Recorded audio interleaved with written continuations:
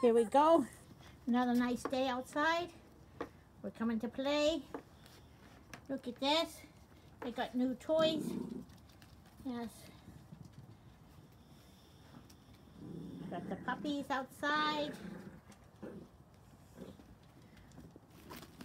Okay. We're gonna put this up.